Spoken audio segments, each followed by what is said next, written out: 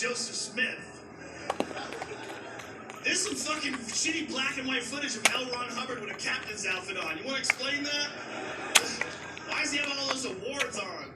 Why is Tom Cruise wearing a gold medal the size of a dinner plate?